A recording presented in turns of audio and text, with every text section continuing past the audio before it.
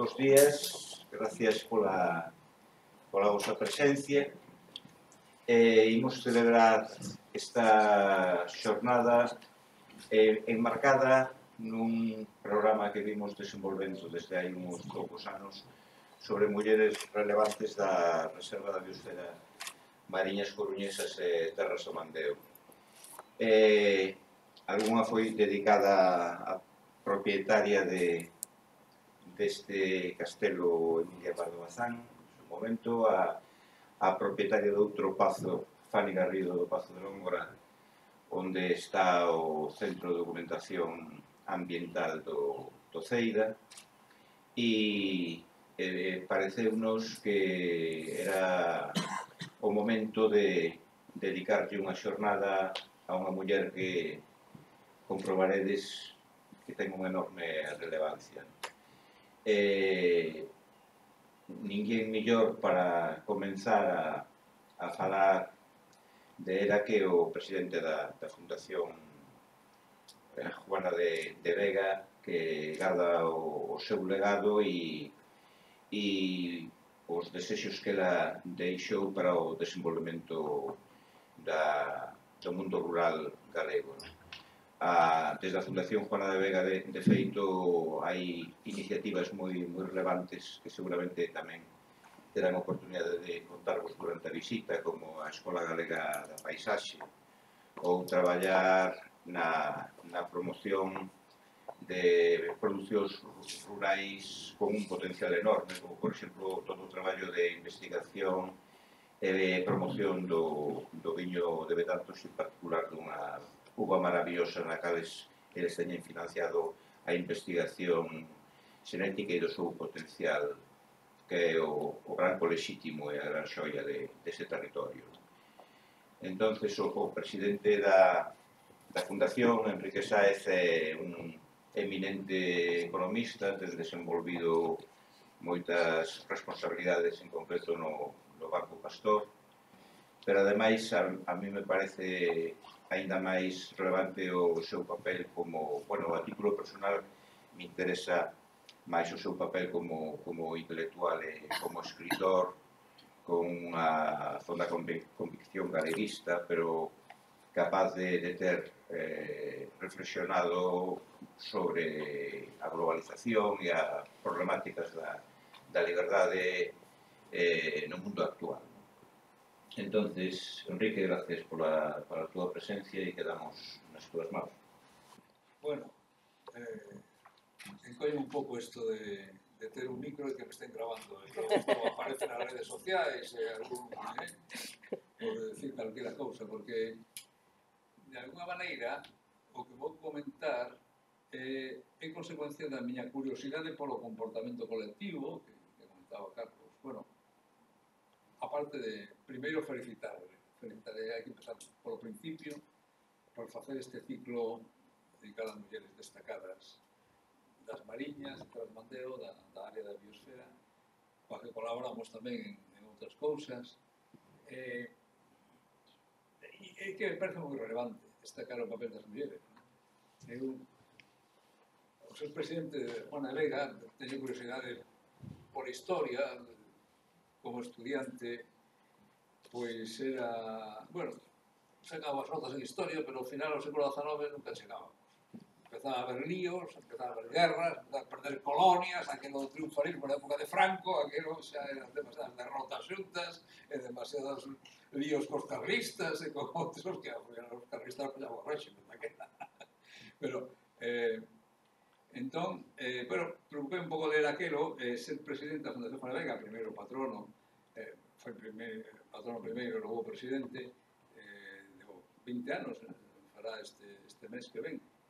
Eh, bueno, fíxame reflexionar máis ainda, meterme, porque interésame saber o contexto no que Juana traballou, de alguma maneira tamén porque sentímonos herdeiros do legado, eh, eh, que gustanos saber que pensaba a fundadora para contextualizarnos no, no mundo actual que é moi diferente. Non? Aquela España é unha España moi complicada, estamos perdendo as colonias, a política está en mans dos militares, ou un rei bastante nefasto, eh, Fernando VII, eh, era unha época convulsa, unha época difícil, Unha época no que o Estado pesaba pouco e tiña moi pouca capacidade de facer servicios. Con, o sea, casi todo o dinheiro gastaba, pues, non sei, no exército, en las guerras, na actividade da corte.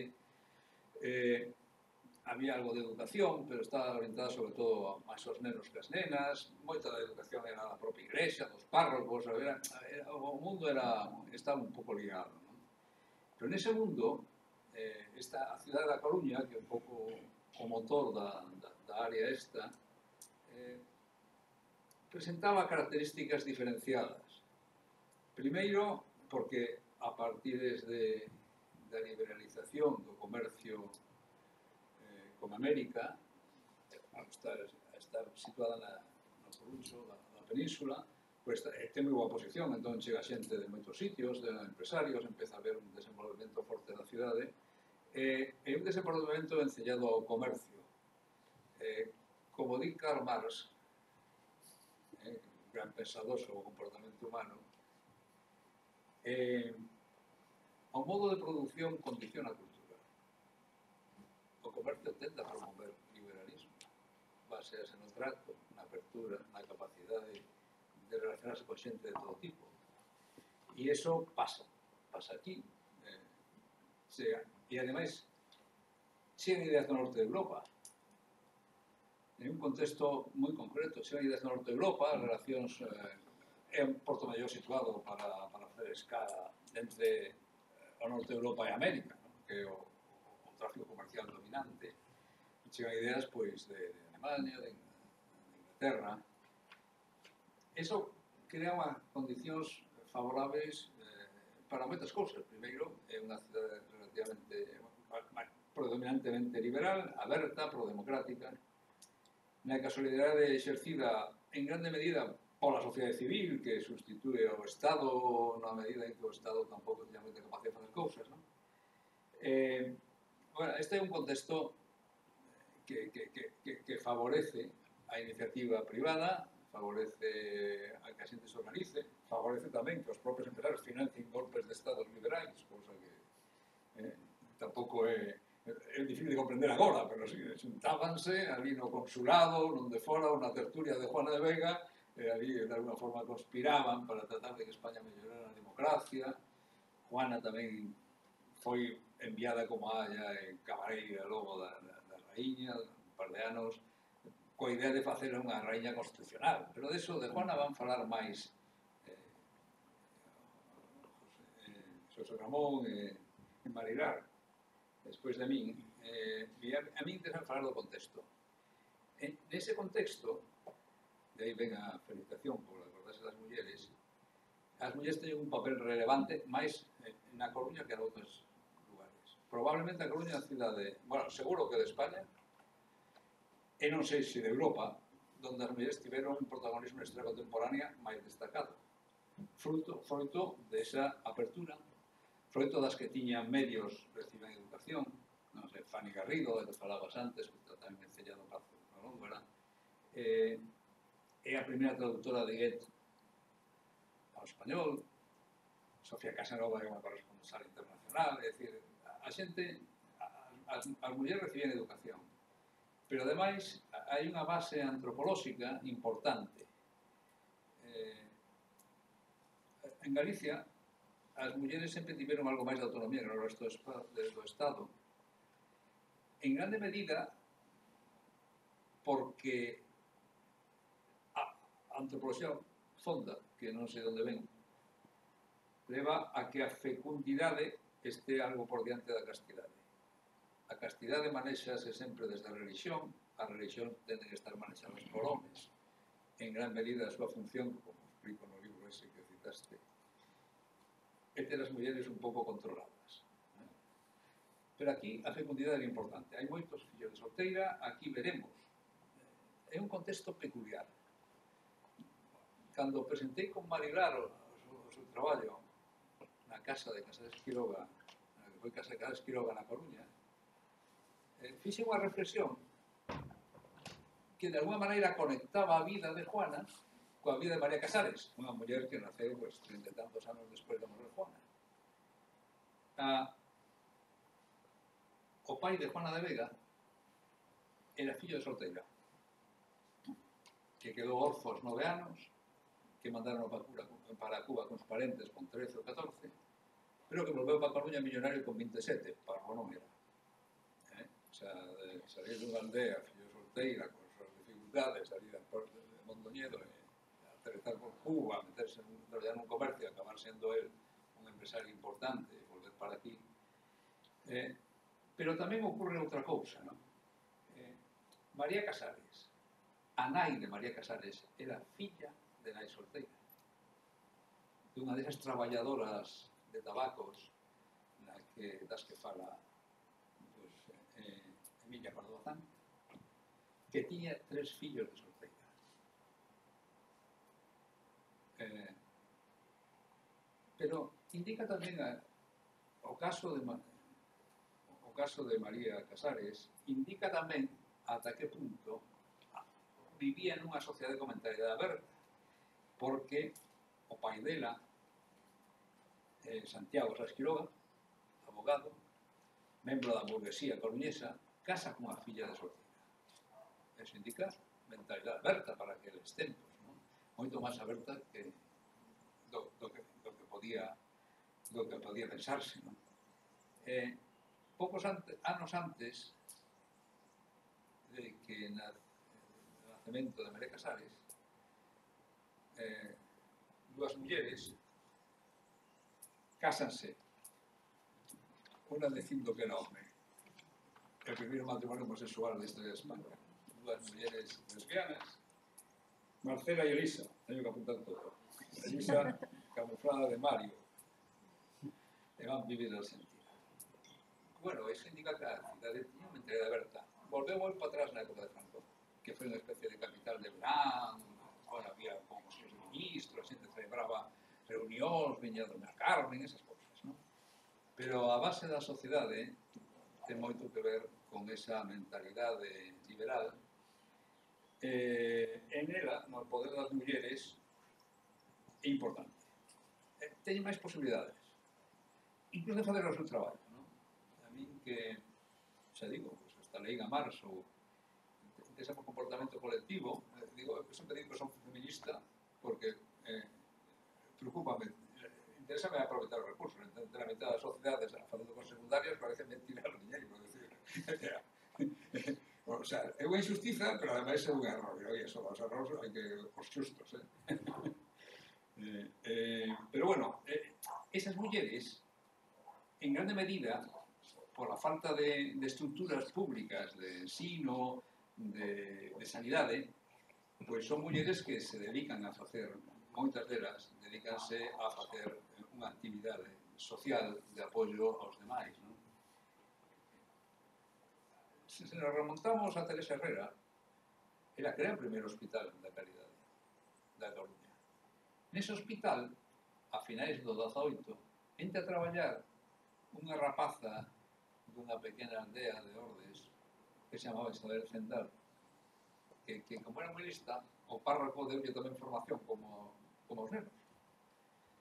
E entra a traballar ali eh, de unha maneira, eh, primeiro desde abaixo, e chega a directora en poucos anos o sea que tampouco era tonta.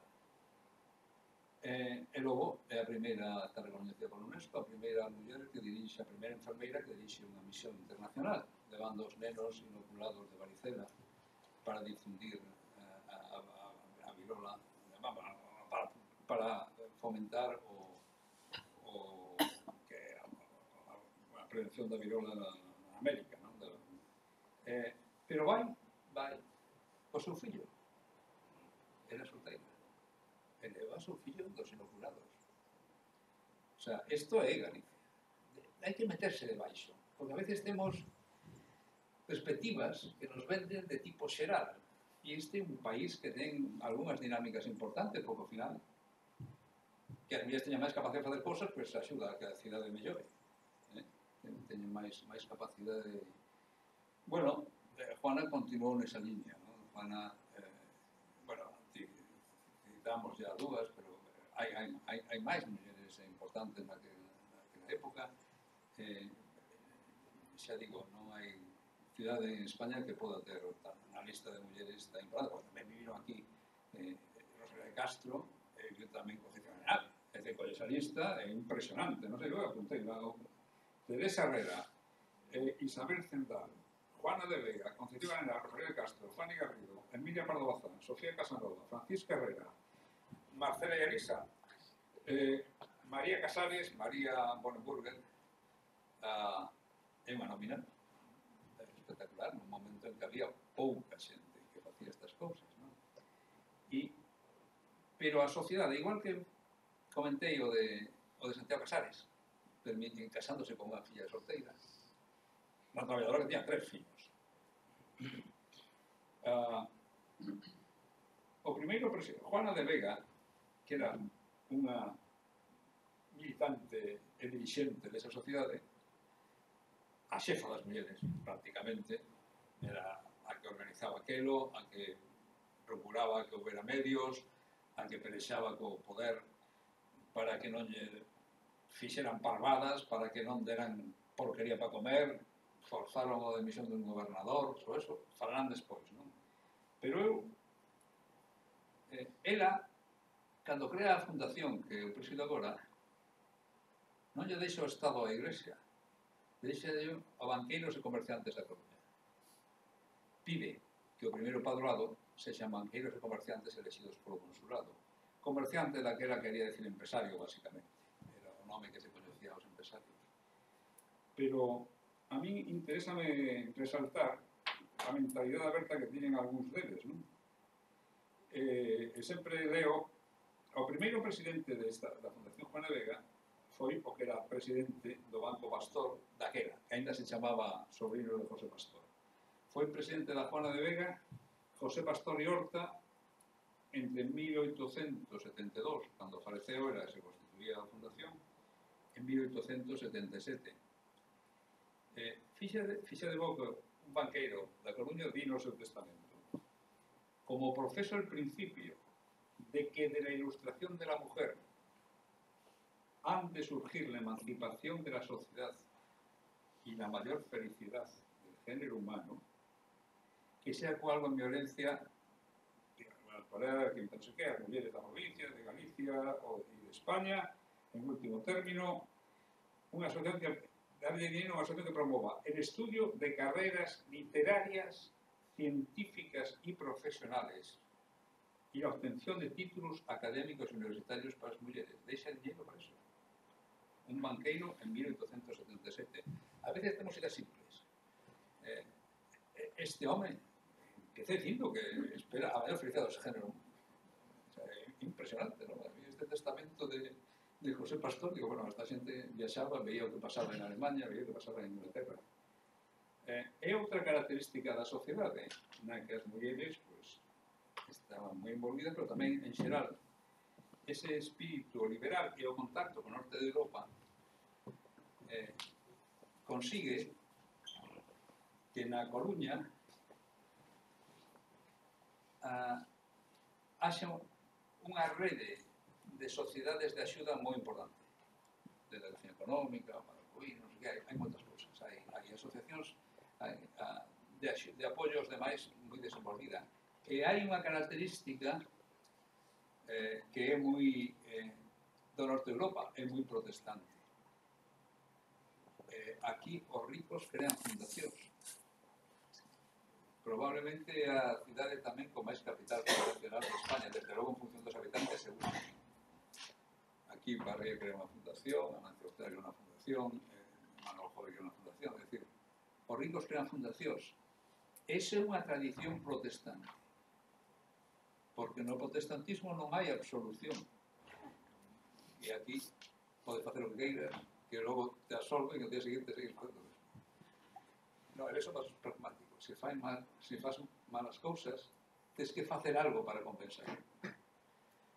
E esa tradición protestante aquí estaba moi arraigada, o cual tamén fomenta o desenvolvemento da sociedade civil.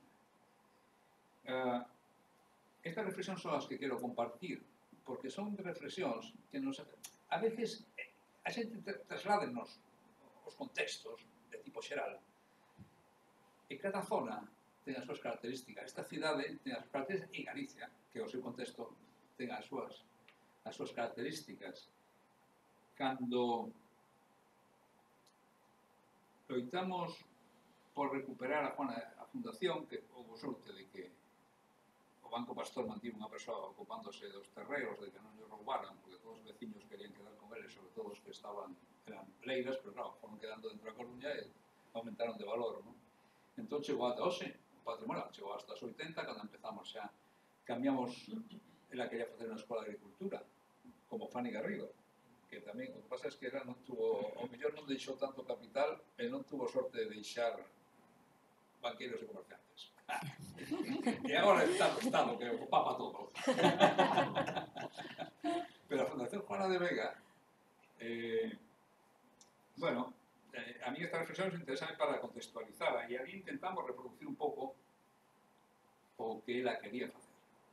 Eh, tratamos de axudar en desenvolvemento do medio rural, ela le preocupaba o, o que hubiera escolas para agricultores, estábamos en un enorme atraso en rural de Galicia, Eh, pero cando empezaba a ter algúns diñeiros, pois vendendo en subasta pública sempre, os, os terreos que tiñamos, investindo, eh, tratando esa unha parte importante.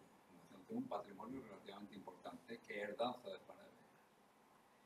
Pero, eh, cando empezamos a ter diñeiro para facer algunhas actividades, dímonos conta de que había máis escolas de agricultores que de agricultores, en esa xeración, pero xa había, o Estado espacio, había escolas de, de FP agrícola pues, suficientes para atender a demanda. ¿no? Decidimos, despois de debatir, pois continuar no desenvolvemento rural. Entón somos unha fundación rara, porque somos unha fundación privada con medios, con medios. Sea, ter autonomía para facer cousas, al mellor saben mellor que ninguén, hai que ter medios.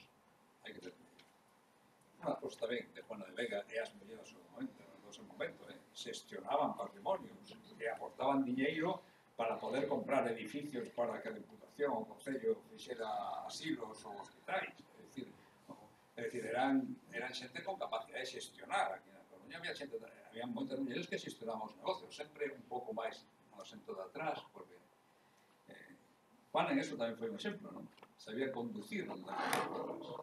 era filla de huyera de, viuda de, haya de, pero ela tiña ideas propias.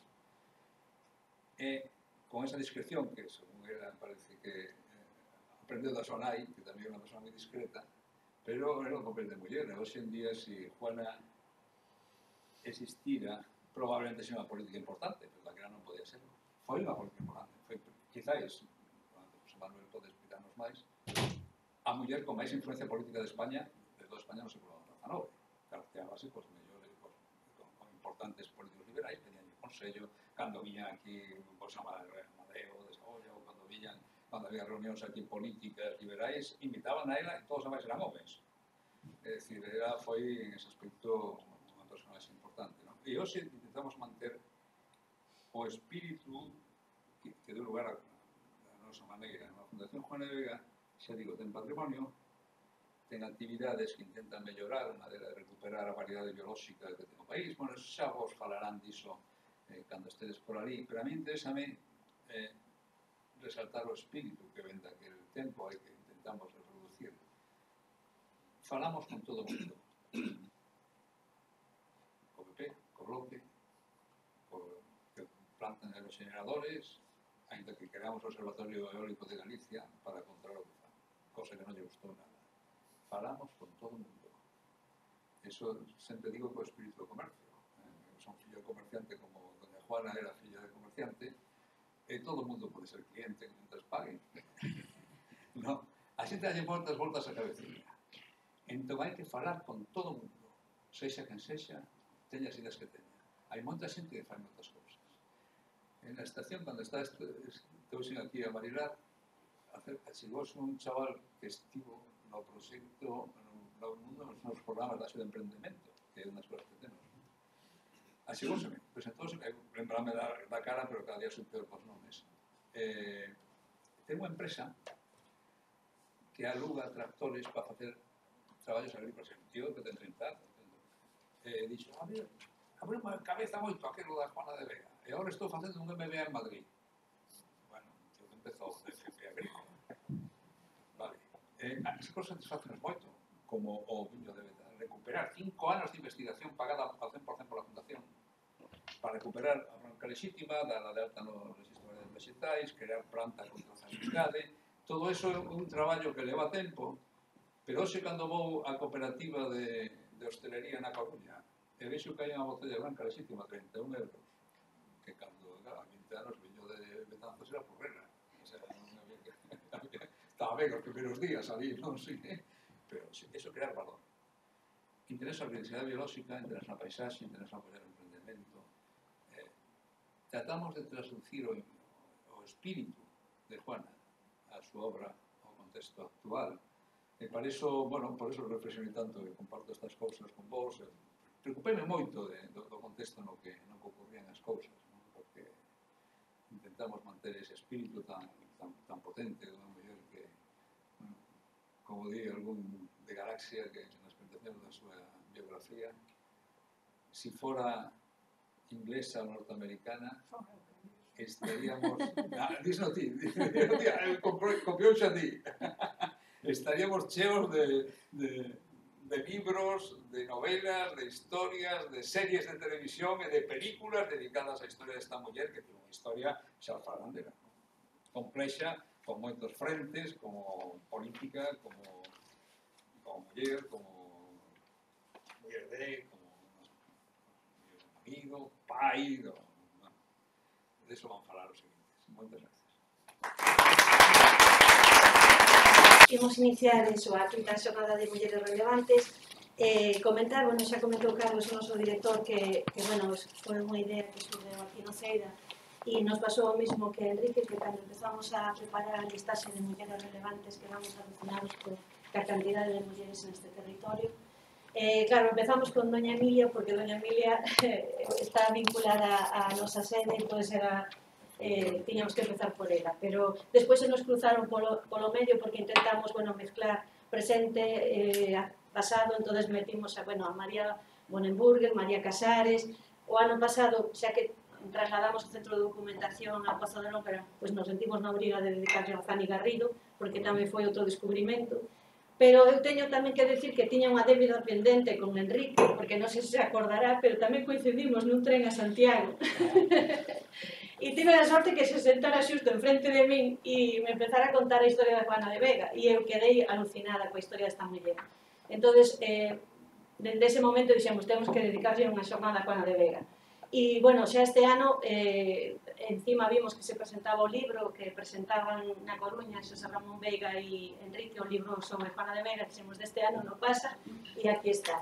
Entón, temos a sorte de ter, pois, eso, a, a Marilara Leixandre e a Xosé Ramón Veiga, Eh, de Xosé Ramón Veiga, mirando así un pouco o currículum, é eh, investigador da Universidade de Santiago, eh, polo que eu leí, está centrado na súa investigación na historia de España e de Galicia, Me chamou a atención tamén, eh, sobre todo, pues, eh, o tema da investigación sobre as elites e os parlamentarios galegos, sobre eh, o tema de clientelismo en Galicia, sobre o tema tamén da nacionalización española de Galicia, Eh, e despois, bueno, tamén, claro, século XIX eh, e, por suposto, Juana de Vega, ¿no? eh, a socialización da política, unha muller progresista liberal.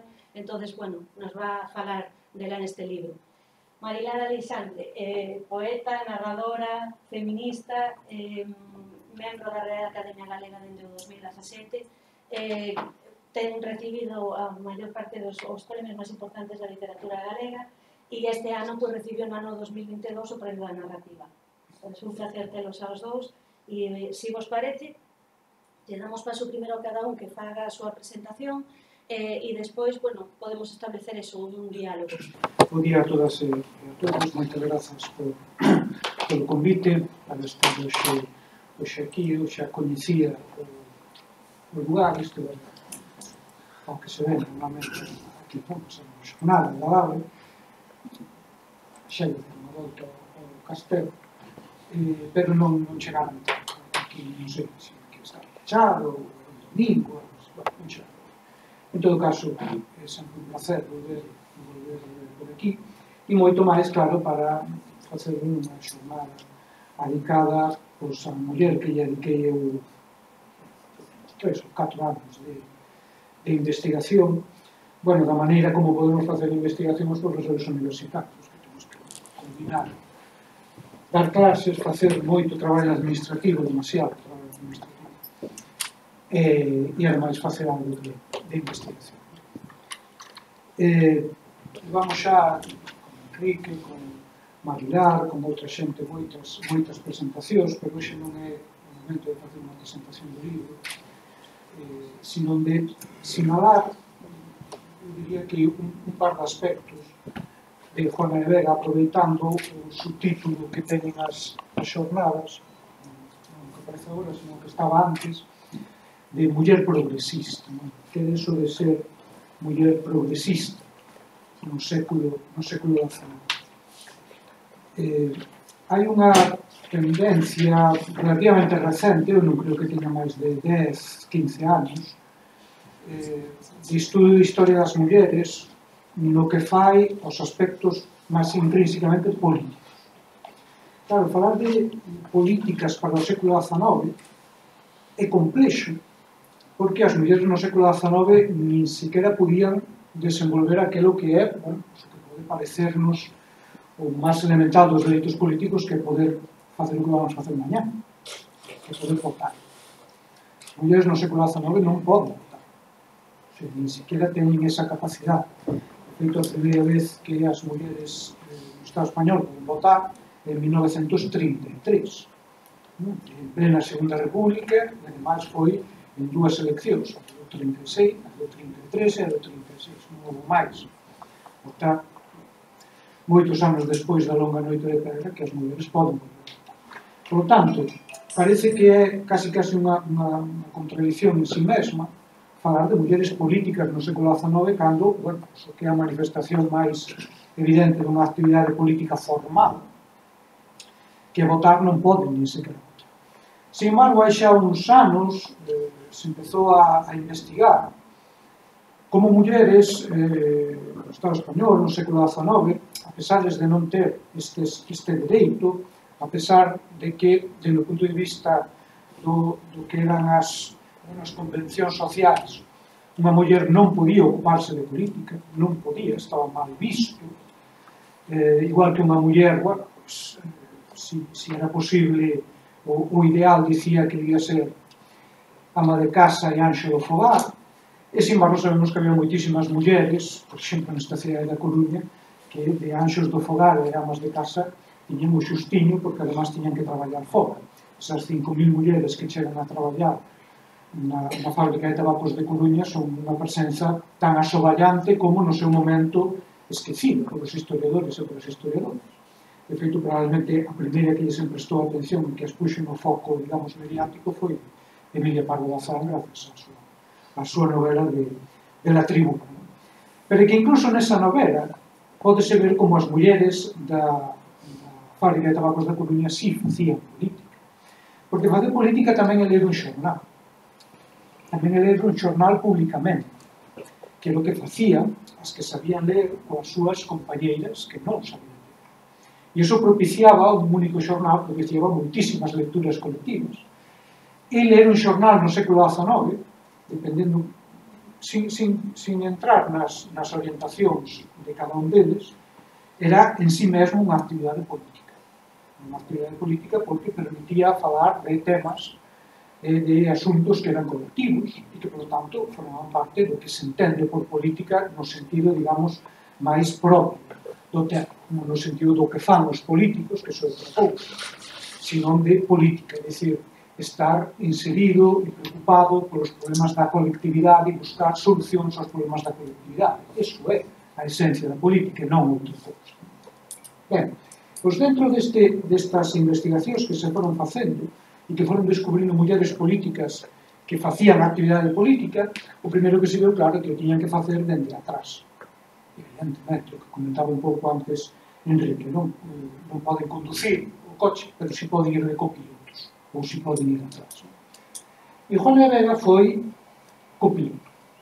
Foi copiloto porque formalmente non podía ser piloto, pero sí podía influir, e influiu moito, moito dentro do punto de vista político.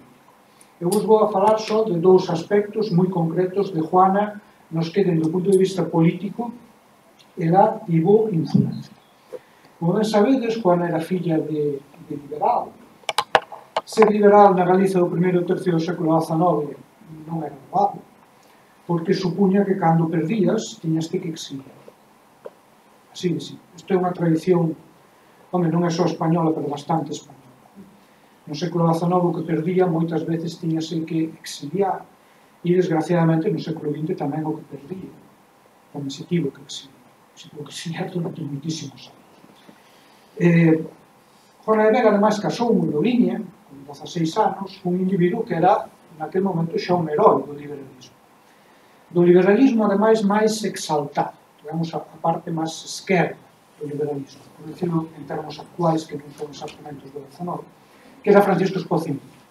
Francisco Escocimino era un liberal moi coñecido, e en 1823 o liberalismo en España pois, cae, unha vez máis, cae unha vez máis a máis de en parte de, de, das bayonetas francesas, dos famosos 100.000 fillos de San Luis, pero tamén contando con moita colaboración de, de españoles realistas que querían ese, ese establecemento do liberalismo, e es Francisco Espocimina se ten que largar. Se vai nun, nun buque francés, un cuide Asia, e se vai para Gran Bretaña. E Juan de Vega se vai un pouquiño despois. Levaban dous aniños casados, xuntos apenas seis meses, porque tiveron que separarse moi rápido. E o certo é que entre 1823, no caso de Espocimina, e 1824, no caso de Juana, pois eu xa lle, falo, xa lle chamo Juana constantemente, porque a relación xa casi, casi sempre me destocou. Eh, e Juana se vai, un poquinho despois, en 1824, e están 10 anos en Gran Bretaña. 10 anos en Gran Bretaña. Eh, ali Juana vai facer de todo. Vai facer de todo porque eh, o Escocia Mina estaba moi maliño, tiña moitas feridas de guerra, tiña unha bala, unha, unha perna que lle daba moitísimo a lata, pero además tiña un cancro de estómago, non sabía. Tiña sempre problemas gástricos e agora vai ser a súa enfermeira. Primeiro vai ser a súa enfermeira. Pero logo vai ser cousas que, dende o punto de vista da, da, da sociedade civil e da esfera pública, son máis importantes, que ser enfermeira, que Espocimina evidentemente que a súa muller fose súa enfermidade mas era a súa traductora. Porque Espocimina máis ou menos dominaba o francés. Ele estivese, estivera eh, exiliado en Francia entre 1814 e 1820 debido aos liberais a mitad da vida son exilios. Non se conoce nada, son exilios. Igual que a mitad da vida dos exiliados logo da, da guerra civil do 31 do 36 pois a mitad da vida do exilio. Isto é o que, que hai que ter moi claro eh, dominaba o francés e iso servíalle en Inglaterra para bueno, ten unha certa relación coas clases elevadas inglesas por o idioma de cultura na Europa da primeira mitad do século XIX era o francés, non era o inglés. O inglés era o idioma dos negocios pero non o idioma da cultura. Pero Espocimina non dominaba o inglés. E quen dominaba o inglés chegou a dominar máis bastante, bastante ben era Juan. Juan así Juan aprendeu a falar en inglés Quizás xa tivera algúns rudimentos en Coruña, eu non o pude comprobar, pero desde logo si sei que mentre estivo en, en Gran Bretaña aprendeu a dominar o inglés, incluso sabemos máis ou menos os xornais dos que se valeu para entrar no idioma, por exemplo, o London Courier, que era un dos xornais que, que leía Juan. Por que é importante isto? Bueno, isto é importante porque o que vai facer Francisco Espozimina, como moitos dos exiliados en Gran Bretaña, non todos, eh, non todos, vai ser conspirar. E se vai facer política. A política que podía facer nese momento, que era intentar conseguir os apoios políticos e económicos que lle permitisen dar un golpe de man, un golpe militar, e derrocar a Fernando VII ou por lo menos obrigalo de novo axudar a Constitución de 1812 convertirse nun tribunal. Esta idea enseguida a desbotaron, porque logo do que pasou en 1814, logo que pasou en 1823, onde volver a insistir con Fernando VII a ser complicado. Non? Entonces, o que van facer algúns dos liberais que están ali, algúns deles tamén eh, coruñeses, Rojo del Canizal, por exemplo, outro dos liberais que está ali exiliado, Antonio Quiroga, outro dos liberais que está ali exiliado, é conspirar. E para conspirar había que saber falar inglés. E claro, sabía falar inglés era joven. Dito de outra maneira, unha muller non só era a, a, a esposa do principal conspirador contra Fernando VII, ou dos grandes conspiradores era Torrijos, que además se levaban mal, isto tamén é unha desgracia dos liberais eran poucos demócratas, que son poucos e con rei se levaban mal, cuestións de cururito persoal. Bueno, a que estaba, a que lle traducía as cartas, que viñan en inglés, a Escocimina, a que seguro estaban moitas das conversas que Escocimina tiña con eh, a alta sociedade inglesa, con comerciantes ingleses, os que buscaba sacarles dinheiro para poñer en pé o seu golpe, calquera golpe, sexa militar, sexa de outro tipo, necesita de financiamento, iso vai ser o gran, o gran problema que van todos os ideas exiliados, onde conseguir dinheiro. O pois sea que estaban nesas reunións, a que vía pasar polas súas sucesivas casas inglesas, viven en varios sitios, viven en Londres, viven en Plymouth, viven en Hastings, viven en Blackheath, viven en varios sitios, viven moi perto de Londres tamén. O que ve pasar a todos eses conspiradores por ali, españois e non españoles, é Juan Moreno. Juan está no meollo da conspiración.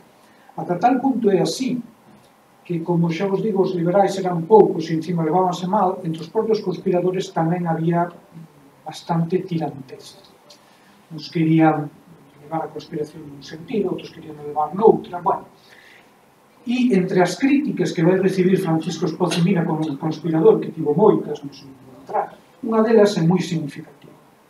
Usted non hace máis por la conspiración porque está pillado por su mujer, tal cual tal isto díxolo o secretario de Escocimina, nunha conversa que tivo con él, unha conversa privada, que, sin embargo, despois Escocimina Mina dixo a Juan, usted está pillado por su mujer. Isto no universo masculino do primeiro e terceiro século XIX, que unha muller pudese estar de alguma maneira influir en algo tan varonil, que se me permitides casi tan testicular, como organizar unha conspiración para acabar con Fernando VII e restablecer o liberalismo en España era algo que moitos non podían aturar por moi liberais que fosen. E Juan estivo. Juan estivo en medio e estivo, ademais, incluso en algún momento dirixindo toda a rede de contactos que Escocia Mina tiña por Francia, por Inglaterra, por Portugal, por Gibraltar, cando Escocia Mina estivo en Porto eh, a conspiración era realmente peninsular, porque igual que había aquí en Fernando VII, había tamén un resolutista en Portugal, pasa que en Portugal o, golpe se adianta, dase xa a finais de 1830, e Escocia Mina se vai, e pasa varios meses, casi seis meses, en torno. Pero claro, a rede de, de conspiración de Escocia Mina se mantén, se mantén. E quen é que mantén esa rede? Quen é a que recibe as cartas? Quen é a que contesta as cartas dos conspiradores? Quen é a que coñece os espías que ten espocemina por toda a península? Algo que era un material tremendamente delicado, porque os espías fernandinos estaban tamén por ali moi interesados en ver quen era esta rede. Bueno, pois o sea, que mantén a rede durante máis de seis meses, sempre dicindo que eso superaba moito as forzas de muller, que ela non sabía como facelo, porque Juan era, nesto era tremendamente modesta. A que mantén esa rede é Juan, non é ningún outra persoa. Que mantén esa rede durante máis de seis meses é Juan. Dice que conta con apoio de outros emigrados, que probablemente é certo, Ramón Gil de la Cuadra, por exemplo, o ministro, o propio Agustín Arguelles, eh, pero a que está aí eh, conspirando tamén é Pero Juana queda viúva moi novinha, non sei ata que hora. Sí. Eh. Cinco minutos máis. Sí. sí. Juana queda eh, nova ou viúva moi, moi novinha. Juana queda viúva eh, a finais de 1836. Non quedaba ainda historia de España, non? Porque o 25 de decembro de 1836 Escocia e se, se morre. No 36 xa morrera Fernando VII, outro máis dos, dos ditadores españoles os absolutistas que morren na cama, morren de outra maneira, se moren na cama, de vello dos excesos propios dos reis borbónicos, eh, se moren na cama, en 1836 en Barcelona, e Juana se volve para, se volve para, para Coruña, ¿no? se volve para Juana recupera, un, un, bueno, pon en marcha un parladoiro na súa casa, polo que van pasar todos cantos liberais pasan por Coruña, sin excepción non hai liberal que pasase por Coruña, por suposto os liberais coruñeses, que non pasase pola casa de Juana de Berro. Participar en ocasións no seu parladoiro, pero tamén rendirlle pleitesía o marido de Juana de Vega, Francisco Espocimina, que está, a historia que coñecedes seguramente, que está ali en embalsamado. Cuarto ao lado onde dormía Juana, pois pues estaba chamado Espocimina, e ali todo o canto liberal pasaba por Coruña, ia eh, ver a dona Juana, opinable, formalmente rezarlle unha oración a, a Escocimina, deixar fe do seu liberalismo, mar do liberalismo, e, e falar con, con Juna. No? Nesa tertulia de Juana de Vega probablemente se esforxaron moitas das candidaturas do liberalismo progresista cunas. Por exemplo, eh, Vicente Alsina, que foi durante 4 ou 5 legislaturas o deputado liberal máis coñecido de Coruña eh, nas Cortes do Estado, incluso en etapas de goberno do liberalismo moderado, no que sacaron un liberal progresista, conseguir que vencesen as eleccións daquela maneira, porque todas as eleccións estaban amañadas, todas, todas, non había ningún. O, o esencial era ter os recursos para amañadas, eso era complicado, non se podía. Bueno, pois este Vicente Alexina foi, creo que cinco veces, deputada a Cortes, sempre contando co apoio por detrás dos, dos moitos contactos sociais que tiñen entre outras persoas Juan de Vega. Pero que ademais Juan de Vega estivo detrás do que probablemente é a conspiración máis coñecida dos liberais progresistas galegos, unha vez máis fracasada, que é o golpe de Miguel Solís. O golpe de Miguel Solís das en 1846, un golpe do liberalismo progresista que logo ten unha deriva galeguista, que é unha deriva galeguista que está moi ben estudiado Pois por Xosé Ramón Carreiro, por Justo Fernández, e resulta que eh, no fracaso do golpe de Miguel Solís, que xa sabedes, pois, os fusilados, os famosos fusilados en Carral, que moitos anos despois se nos momento, bueno, pois resulta que atopamos unhas cartas nas que o capitán xeral de Galicia, Juan de Villalonga, que era a persoa mellor informada naquele momento, que o que de alguma maneira dirixe a represión contra Solís, eh, pois Resulta que lle dirixo unhas cartas ao ministro da Guerra, na que lles di, di o ministro da Guerra, que aquí hai unha muller en Coruña que hai que destruir. Non podemos culpala directamente, porque resulta que ten contactos cos cónsules de Portugal, de Francia, de Coruña, os cónsules teñen inmunidade diplomática, por aí non podemos facer nada, además é muller, co cal vai ser moi mal visto que mandemos os soldados ou policías metela na casa, tampouco é que teñamos probas, pero é que eu estou completamente seguro de que esta muller é o cancro que nos está poñendo a trancos o a bueno, que o liberalismo moderado realmente triunfa en Coruña. E quen é esa muller? Pois esa muller é condesa de Uremín.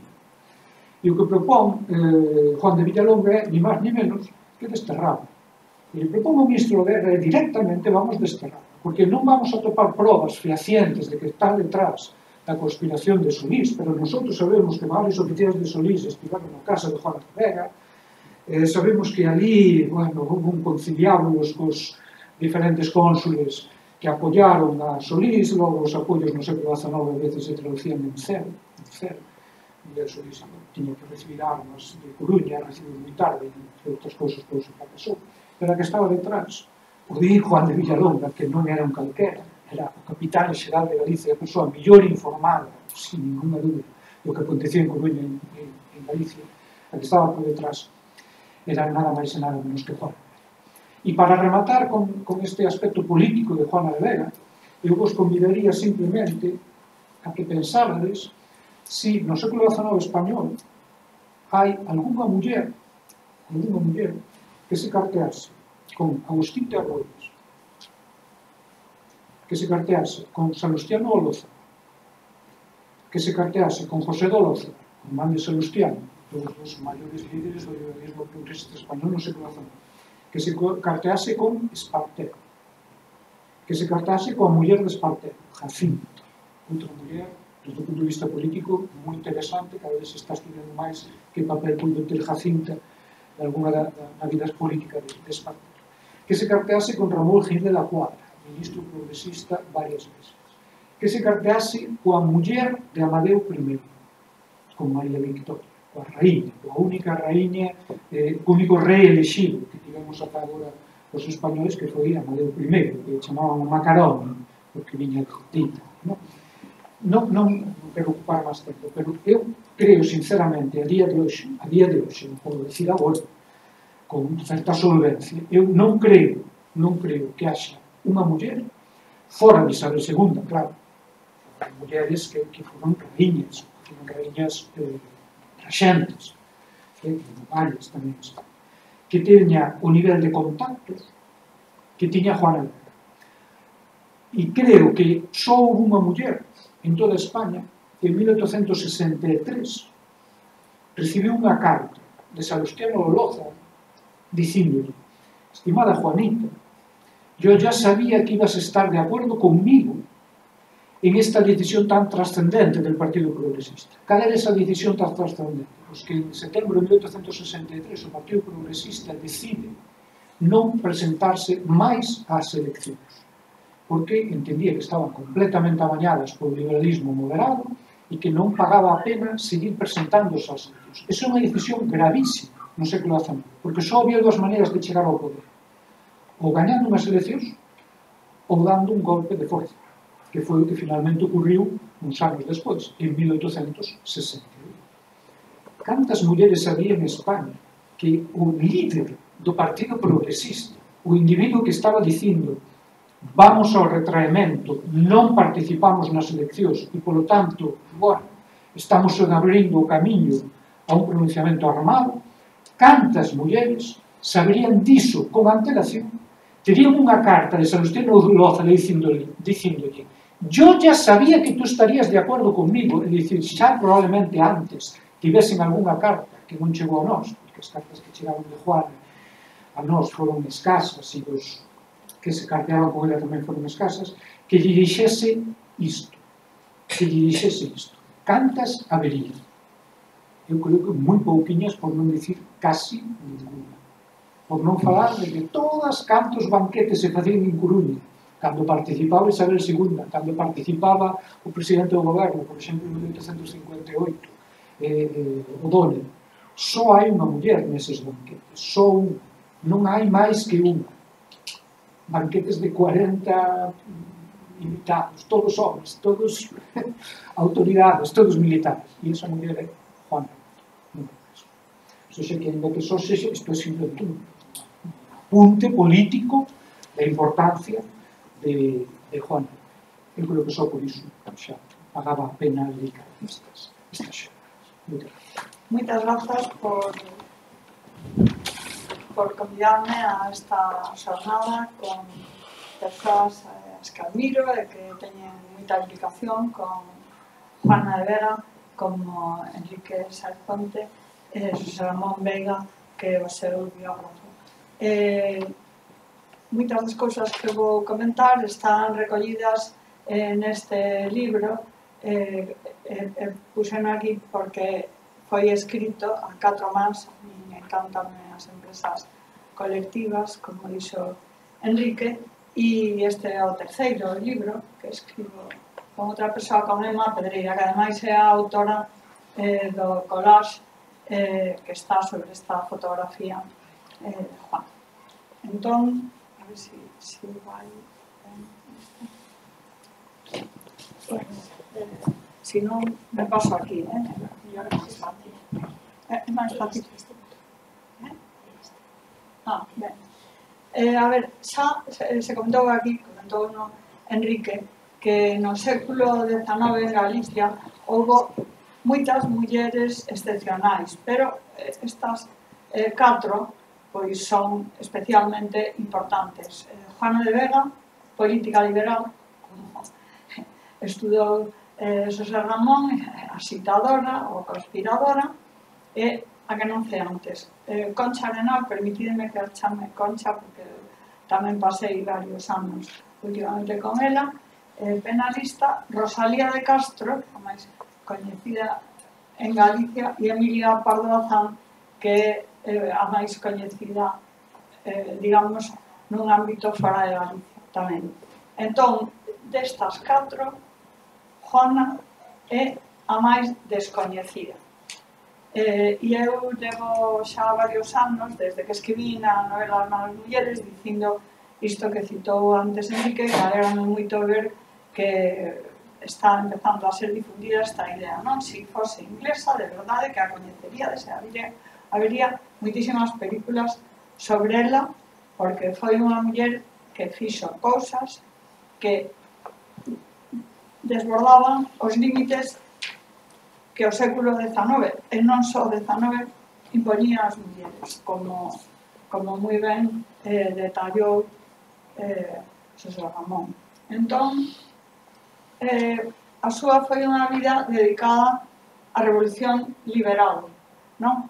As catro que estas catro que decía antes desafiaron as limitacións, pero Juana foi a que tivo máis activismo político desde nena, por a indicación do pai, e da nai. E sobre ela, en Galicia, especificamente, sobre ela pesa o descoñecemento. Eu isto eh, comproveino de moitos modos, porque eu mesma, antes de escribir a novela das malas mulleres, da que era unha das protagonistas, pois sabía catro cousas dela. E isto comproveino nas presentacións e falando con xente aquí en Galicia. A xente Juana de Vega, si, é unha rúa na Coruña, é o que saben. Fora de Galicia, porque fixen varias presentacións na novela en castelán, pero, pero ademais en Galicia hai unha serie de estereotipos, eh? estereotipos pois debidos a unha idea nacionalista que todas as mulleres que non son Rosalía de Castro, eh, perdón, vou non decir así de crudamente, pois non merecen eh, ser lembradas.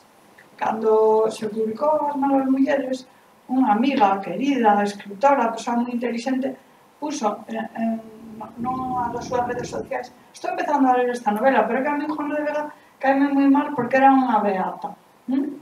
Eh, puso iso, uns meses despois encontreina, eh, seguramente esquecía que dixera iso, dixo Marilar, estou namorada de Juana de Vega, por favor, escriba unha novela sobre ela, e eu, xa, xa está nunha novela, xa fixen unha biografía, é que ten que ser máis coñecida, ben?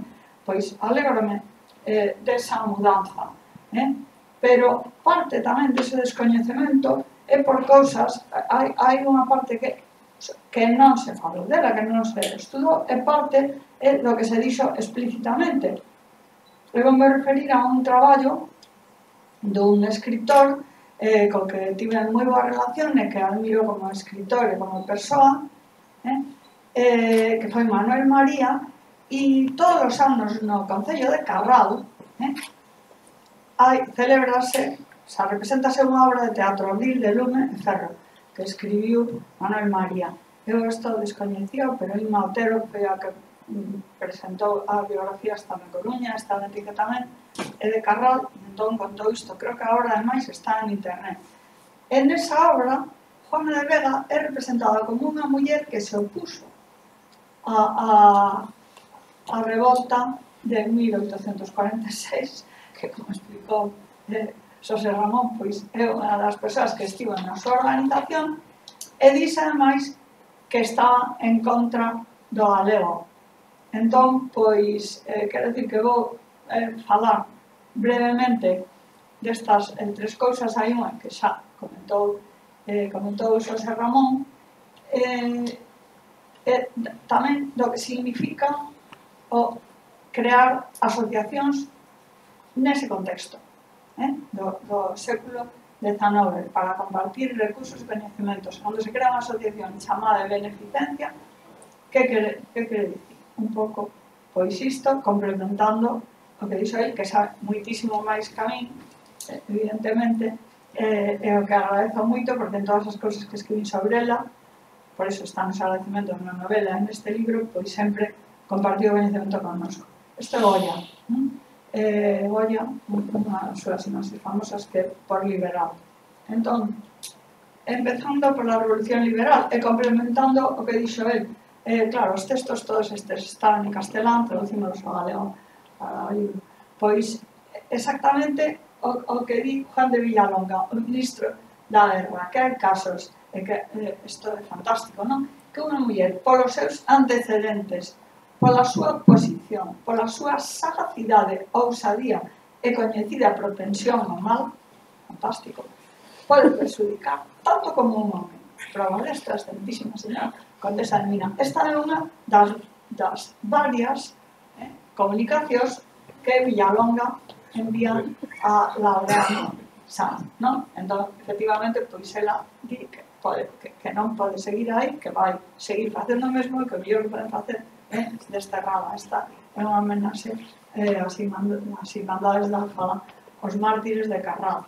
É dicir, hai pois esa participación política, claro, ás veces dicimos, se fose un home, o mellor pois tería sido eh, ministro ou, ou algo así. O mellor se fose un home tería acabado o forcado, ¿no?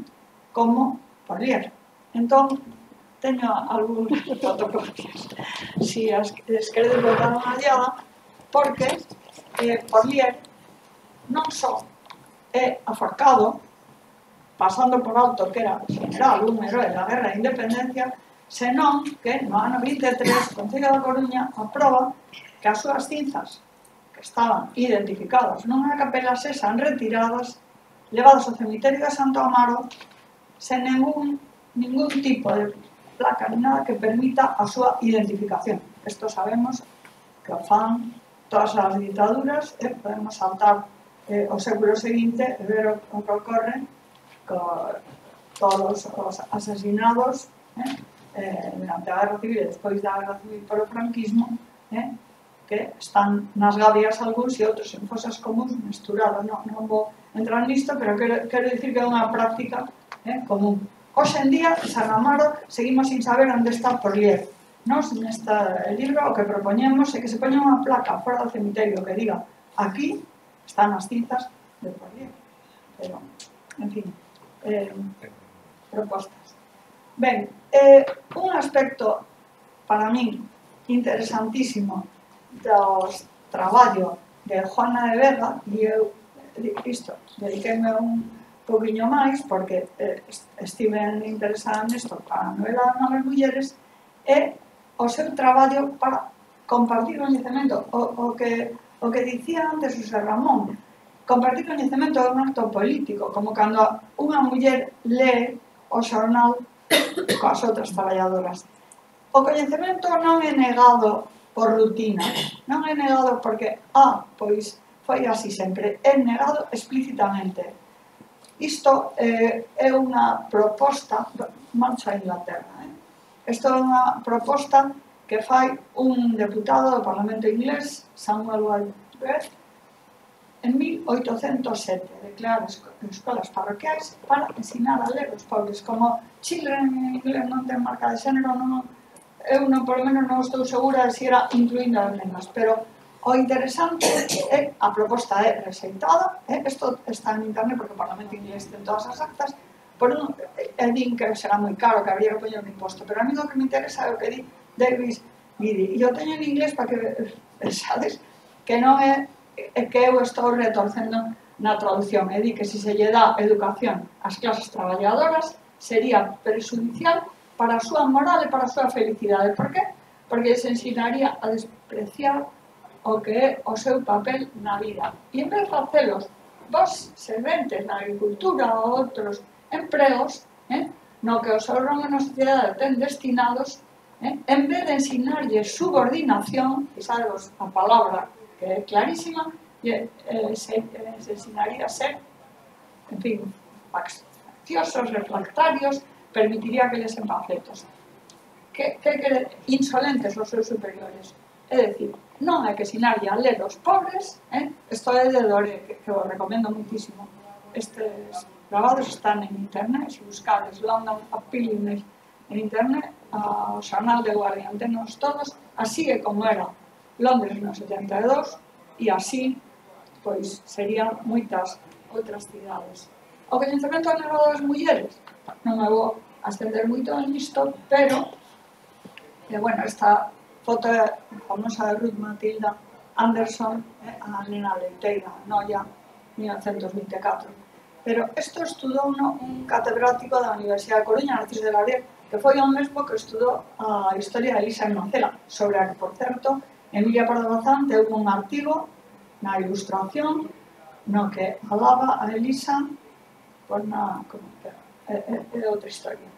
Entón, de Gabriel É dicir, que no século XIX, no cambio 20, as mulleres son excluídas do dereito á cidadanía e si se di que se, se empece a dar instrucción pública é para que poidan desempeñar mellor as funcións de esposa e nai, as labores propias de su, de su sexo. Vou decir aquí que tamén a institución libre de enseñanza eh, e, e os seus cursos é parte dese discurso.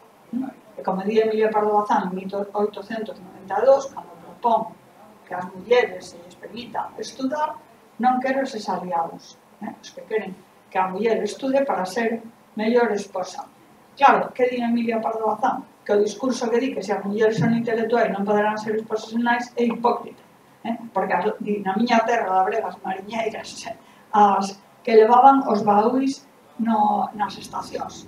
Fan todo iso e teñen fillos, e fan embarazadas. Entón, inspectores de ensino primario, estudado por Narciso de Gabriel, eh, en Galicia, advirten de que sería moi perjudicial, é, é moi parecido ao de antes que decíamos dos pobres. As mulleres non necesitan aprender a escribir e hai pais, din os mestres, que se opoñen a que as fillas aprendan a escribir. Claro, escribir dá unha autonomía. Pero un dato, ¿no?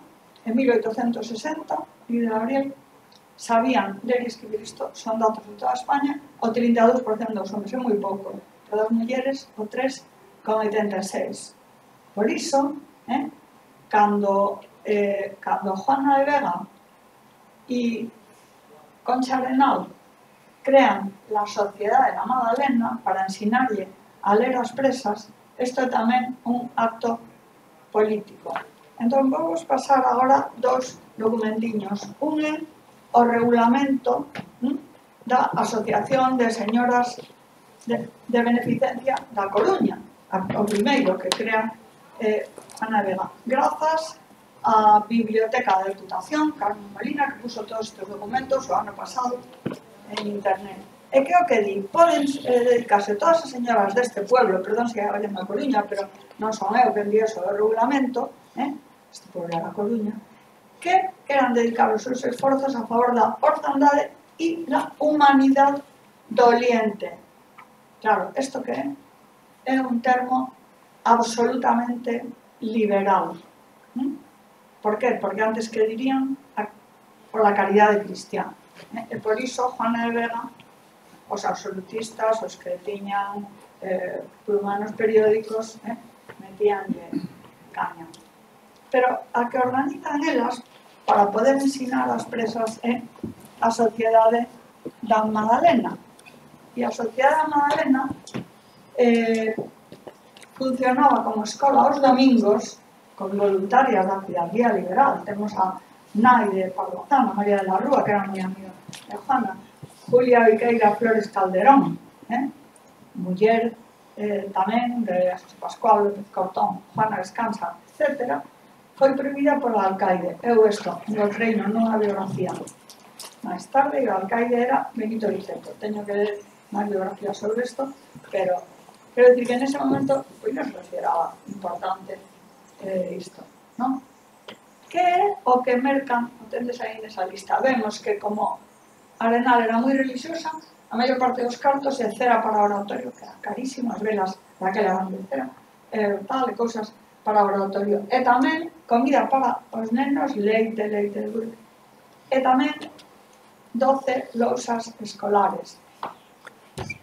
Esta, esta non é das, é unha das 12, esas esta é unha que eu teño adoración por ela, que merquei pois eh, nunha feira Monterroso eh, hai moitos anos. Eh, fixo eh, graza o, o Luz, tiven que dar un, eh, en fin, unha conferencia en Copenhague E o domingo estiven con Enrique Montaudo no Museo Nacional de Copenhague, que vos recomendo muitísimo, que maravilloso museo. E vin que vendían no, o sea, na tenda, vendían lousas destas. Eh? Entón, pois, isto eh, non o utilicei, eu eh, nací en Madrid, pero o meu home, eh, que nació no 50, eh, en C, sí que, sí que utilizou na escola. Entón, eh, para min é un pouco un símbolo xa digo, dese coñecemento compartido que é unha idea de Hanna. Pode haber distintas razóns que podemos comentar despois por que Biceto eh, proíbe isto.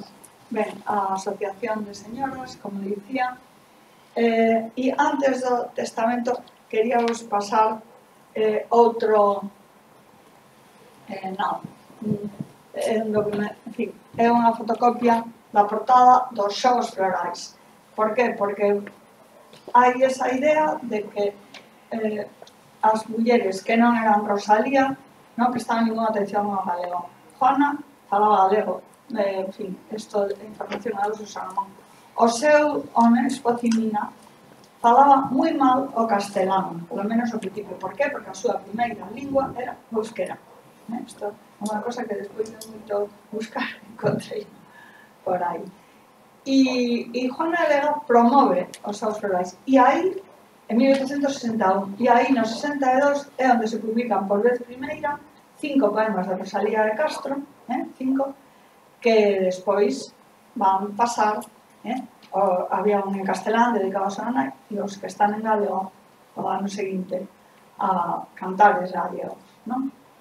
Comentou eh, eh, Enrique, quería acabar con isto, do seu testamento, que é importantísimo, por certo, o proceder este do Banco Pastor deixou os cartos para eso, pero as mulleres en España non lles foi permitido estudar até 1910, sendo eh, Emilia Parrazán, conselleira de Instrucción Pública na universidade e no ensino secundario. Sor, sorprende que un banqueiro que sí, sí, no? pretende que estén carreras científicas e profesionales. Pero digo que interesante no testamento que di que proíbo todo xénero de compra nos meus funerais e ademais que non se poñase no meu nome, xa fora condesa, fora todo eso, engadindo viúva do general don Francisco Espoz e Mina.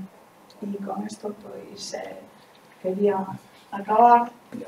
Bueno, vou facer unha pregunta. Eh, vamos ir a pensar un momento nunha parroquia pequena en Cabanas, chamase Reguela, eu, eh, está eh, pechada, eh, eh, pertenece a un couto pois ten poucas casas e que eh, cando a guerra civil deu un porcentaxe do dous tercios de mozos eh, escapados, dicindo ou un exército republicano.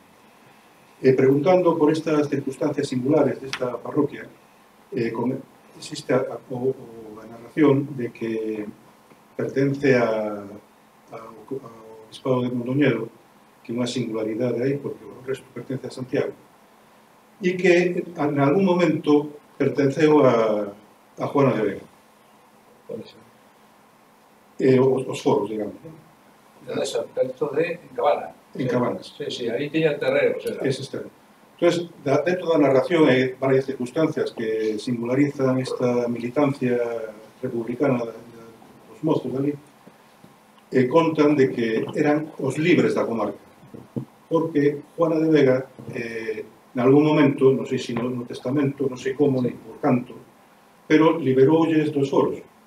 E entón estaban rodeados de xente que, que ainda tiña que estar supeditada aos caciques locais, cando eles eran xente xa que superara esa etapa. Non?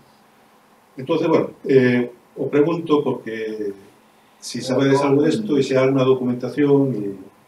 Non sei, eh, eh alegrome de coñecer isto, mirarei con calma o testamento. Era sei que tiña terreos por ali porque lles deixa parte deles a unhas monxas no testamento para facer unha escola de, para nenas. Eh? Sei, sei que é na zona esa. Eh, non, non me quero meter moito coa iglesia, pero en, en escola, en terrenos, pero bueno, por lo menos liberou a xente da zona, non? Eh, eh, eh, bueno, non o dixen antes, porque a mí gusta a veces ser un pouco así rompedor, pero Coruña tamén ten alguna vantaxe para ser liberal e para as mulleres teñan máis peso. É a maior área metropolitana do sur de Europa sen bispo residente. No, bueno, é un dato. Ninguén se fixa nesas cousas. A mí gusta observar o comportamento colectivo e as bases. Non temos bispo. Entón, bueno, eso quero decir, tamén dá en unha cidade seglar, creas así, en un sitio como que, que está dominado por iglesias. Ningún, na zona do mundo penso que ten tantos mosteiros como temos nós, e igrexas por aí soltas, a, os camións de Santiago e as órdenes, e bueno, a cidade, os reis mantén a Coruña, a promoven como, como cidade laica, e, efectivamente, eso tamén, tamén axuda. Eh, sí, eu creo que é moi interesante, interesante eso, eh? que está eh, que está saindo agora, porque... Eh, a Ver, Como se chama a parroquia? Cabrehuela. Ah, Rehuela. Vamos a anotar. É moi pequena. Non, pero é, é interesantísimo isto que comentas. Eh, a ver, eh, unha cousa que eu non dixo porque é moi modesto, pero a Fundación Panadera, que é fantástica, o sea, fantástica, pola súa creación, pero tamén por como eh, dirixida e xestionada, porque eh, nesta, o, ten na súa página web o testamento íntegro. O sea, que quero decir que eso se pode levar. E aparte que eles acaban de tomar nota, e seguro que o estudarán. O nome de Libres é fabuloso. Pero quería dicir, engadindo a, a da igresa que comenta Enrique, que son eh, cregos os que fan a denuncia eh, dos liberais, eh, do pai de Juana, tal, en eh, 19, perdón, 1815, e hai uns textos que, que eh, a Feirán, o sea, reproducimos eh, varias veces, o sea, Feirán, eh, eh fin, eh, profesor de Historia, na Coruña, xa no que falan de que to, toda a serie de xente que podedes imaginar, o pai de Juana, por suposto, eh, Pedro del Llano, Marcial de Ladalí, pai, é dicir, estamos falando do soro eh, de Fanny, é dicir, todas estas familias acérrimos, liberais e demócratas. E demócratas nese momento, eh, eh, eu, o sea, o meu compañeiro eh, de historia, e entón hai cousas como de eh, a humanidade do Oriente, que foi el que me dixo, termo liberal. E entón isto de demócratas, el decía, é como se si no século XX pois din que son comunistas ou bolivarianos ou sabe, o sea, decir, está utilizado como unha etiqueta moi negativa, non? E son creos os que asinan eh, esa denuncia, non? Entón, pois... Pues... que Non teño ni idea, eh? ni idea. Eh, ese, ese dato que, que achegas de de mozos, eso está publicado en algún lugar ou é simplemente está, está sin memoria oral? Está sin publicar. Está sin publicar. Eh, a porcentaxe dos perros. Dope tercios. Sí. Que no ya. Sí, sí, sí. Sí, sí no, vamos, no me, no me identificado perfectamente. Pois -huh. Tamén enlaza coa tradición de, de dos prófugos. Sí. Que se xen en medios. Que algúns serían guerrilleiros, ademais. Sí, sí, teñen unha historia longa, pero bueno, na, na primeira momento, cando eh, puxen os, os primeiros eran era a vía individual de, de zafarse do, porque estaban perseguindo, ¿no? Pero de repente eh, hai unha militancia antifranquista aí da resistencia que tamén hubo en Mugardos, tamén aquí eran poucos, pero a porcentaxe había unha, un precedente tamén de que moi cerca estaba había unha, unha parroquia protestante outra historia curiosísima súa Serra, na, na, na parroquia veciña e para evitar os, os, os impuestos do, do párroco, non? O sea, fixeronse protestantes para, para eludir. Pero bueno, había, había tamén a, a tradición de que, de que ali os menos aprendían a ler, porque os protestantes o primeiro que facían era fomentar a lectura dos rapaces, non? Entón, un conxuntiño de cousas que moi curiosas, non? E, un, e, a, e a máis antiga, pois, era este precedente de, de que eran libres porque eran donos do seu, non? cando estaban rodeados daqueles que tiñan que seguir levando os carros co, co sí. froito pois a, a casa do cacique e tal, non? Bueno. Entón, bueno, eh, non sei en que condicións e tal, pero deu ser bastante beneficioso para a xente cando sí. o acordan así, claro. Cabanas, isto está ao lado de Pontedeume. Pontedeume, sí, sí, sí, sí. aí tiña propiedades. Aí sí, tiña propiedades. Frente de Pontedeume. Efectivamente, sí, sí, sí. sí. Estaba máis para arriba. A Reguela. A Reguela, sí, o teño aquí.